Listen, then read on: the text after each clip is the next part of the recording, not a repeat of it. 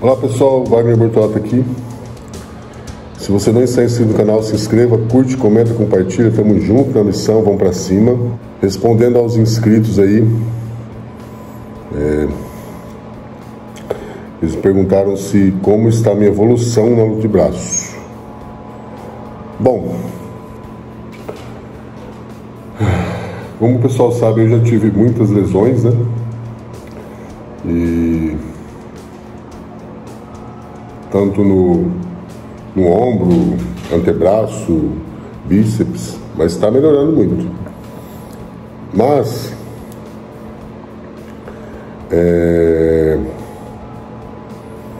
vamos falar de o que, que eu posso melhorar agora para conseguir é, uma melhor performance no de braço. E agora já dá para conseguir ter uma visão melhor. Vamos começar lá de trás. 2017 eu lutei contra Mirtalé Aslanov do Azerbaijão. Eu ganhei dele de 3 a 1. Só que lá, gente, lá foi Deus. Sempre é Deus, mas lá teve um dedo mais grosso de Deus, sabe? É uma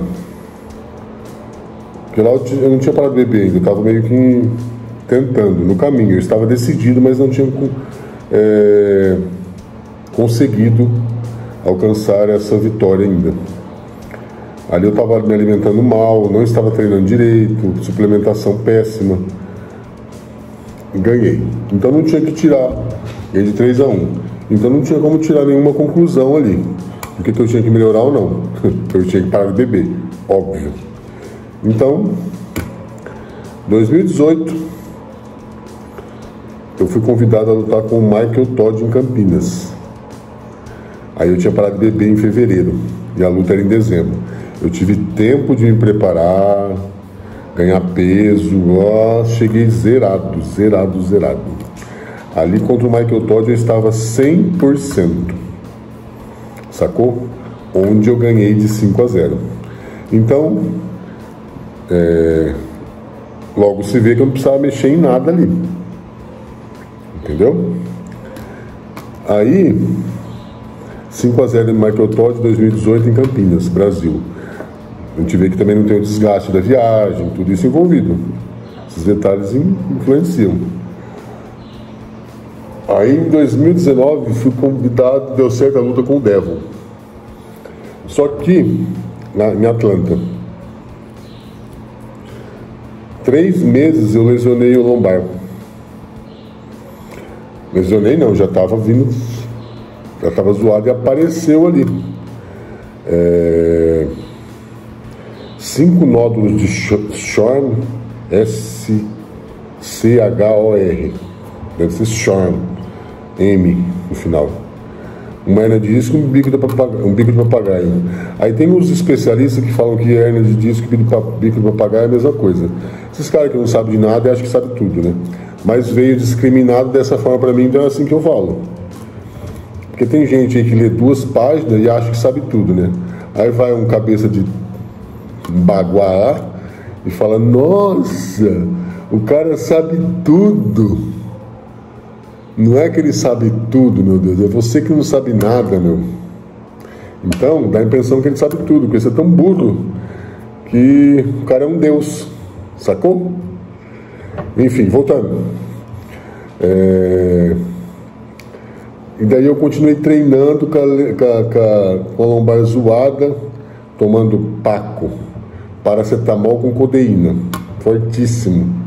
Nossa, ficava a cor, da, a cor dessa camisa aqui, ó. Pressão. Mas aliviava minha dor. Poucas pessoas sabem disso, né? Mas aconteceu, essas lesões na lombar. Aí melhorou pra caramba. Eu não tive dificuldade em lutar lá com, questões da lombar. E o que me atrapalhou na luta foi resistência. Eu acredito que naquela luta eu perdi pro Devon por, na resistência. Devon fortíssimo, a resistência nem se fale, né? Então, ali eu tinha que melhorar a resistência. Entenderam? Resistência. Contra o Devon foi resistência. Não é nem jogo, nada. Resistência. Só, ponto. Perdi pro Devon em Atlanta em 2019 por 3 a 1 Então, Mirtalé 2017, 3 a 1 para mim. Michael Todd 2018, 5 a 0 para mim. 2019, Devon. 3 a 1 Devon. É... Aí em 2020, pandemia, o caramba. É... Tiago Ferreira me desafiou. Aceitei, porque houve umas conversas fiadas, eu estava esperando ele me, ele me desafiar. Aí aceitei e lesionei um mês antes da luta o ombro. Naquela empolgação, treinando que nem doido, fisgou meu ombro. Aí eu a dor eu tinha na negativa. Falei, não dá para cancelar a luta, eu vou tocar o pau assim mesmo. Ganhei 3 a 0 porque eu não deixei ele sair, né? Foi Thiago muito forte também, não dá para subestimar não. Eu joguei 3 a 0 do Thiago em 2020. Eu não lembro se foi 2021 ou 2020. Não, foi 2020. Nesses dois anos. Então, ali não tinha que mexer também, que eu, dei, foi três na marreta, né? Então, aí ficou ainda a resistência para mim sobressaindo. Aí em 2022 agora eu fui lutar contra o Gasparini em Dubai. O ombro estava zoado ainda. Aí piorou. Porque daí eu fui treinando, não, não recuperei. E fui bem. Bem zoado de ombro lutar contra o Gasparini.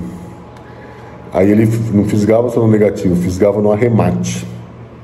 Aí eu perdi um pouco da confiança da marreta. Entenderam? Um dos problemas. Aí quando eu entrava aqui, ó, ele fisgava. Então você acaba perdendo a confiança. A dor não deixa você é, finalizar. Né? E na negativa, pior ainda. Ele abria aqui, nossa, aquilo faltava explodir o ombro, né? Até então eu não estava com dor no braço, dor no, dor no braço e dor no bíceps. Beleza, perdi pro Gasparim de 4 a 1 O que, que eu tinha que fazer? É, recuperar essa lesão no ombro para a próxima luta.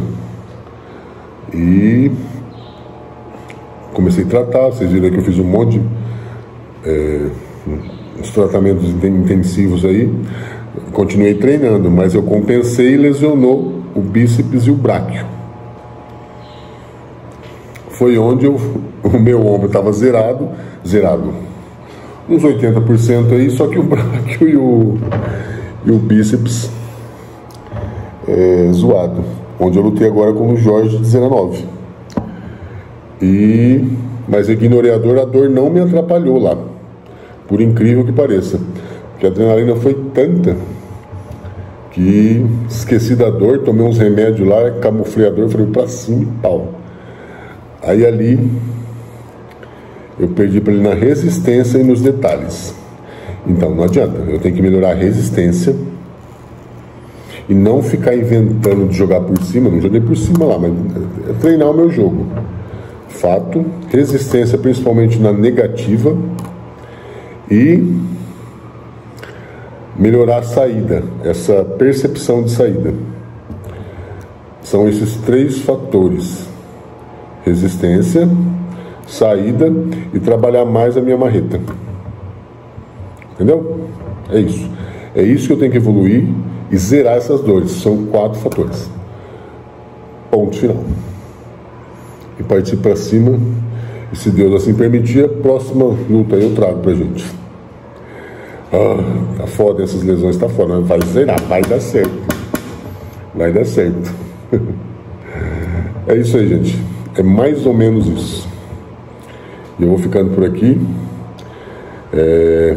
Não se esqueçam de se inscrever no canal fazer parte do nosso time. Estamos crescendo e precisamos do apoio de todos vocês aí para evoluir tanto aí na no, vocês podem ver que eu tenho um conteúdo diferenciado aí com uma gama de, de ideias aí de não só necessariamente luta de braço, mas a gente atinge, tenta atingir é, de forma geral é, vários assuntos para que não fique uma mente muito fechada, né?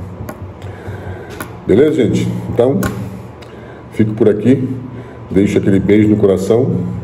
E não se esqueçam de se inscrever no canal. Dá aquela força pra gente. Abraço, força e honra.